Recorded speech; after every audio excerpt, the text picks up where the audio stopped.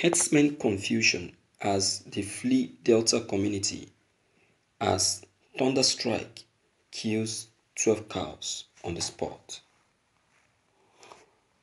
You see, there is a way God works.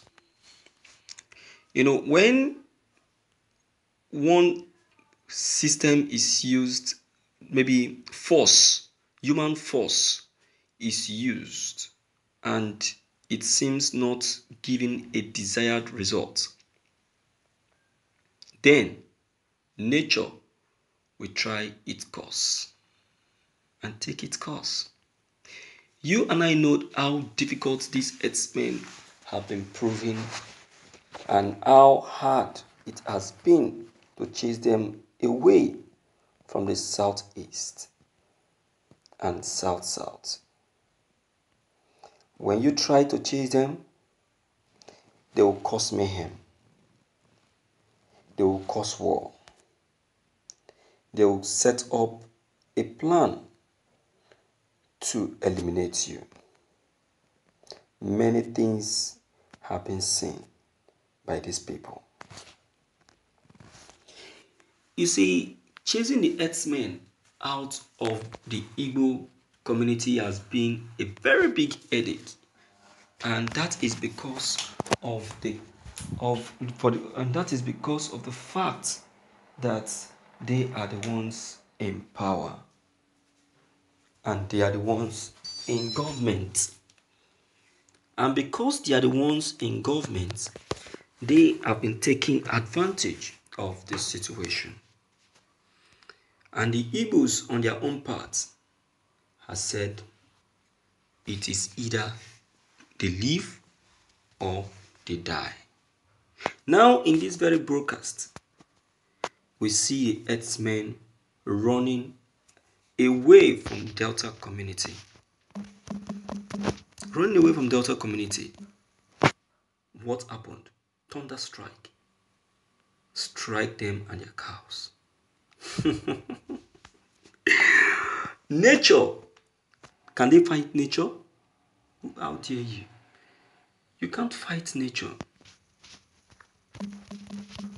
You can't fight nature. You can't fight nature. Yes. So it is better that they live quietly before another thunder will visit them and probably kill the owners of the cow. Kill the owners of the cow. You understand? And that is just the reality. Will I call it a beginning point? All right. Let's quickly look at the content itself and um, and know what's really happened and why they are this on the run. Okay. Herdsmen on Sunday evening of May 2nd ran away from Uhodo Ovu community in Ethiope East local government area of Delta State as thunder strike killed 12 of their cows. The herdsmen and the cows were in their settlement when the incident occurred minutes after the heavy downpour. Daily Trust gathered. Indigents and residents of the community, especially farmers, were however happy over the incident. At the time of filling this report, the 12 dead cows were still lying fallow on the ground. The incident caused serious tension among the herdsmen as they quickly moved their belongings and ran away from the community for fear of being struck dead by the same thunder. It will keep striking them. It will keep striking them until, until they live for good. You understand now? Until they live for good. Nobody want to see them, yet they don't want to hear. Nobody want to feel them, yet they don't want to hear. They keep doing whatever they like. They keep doing whatever they like. That is a problem.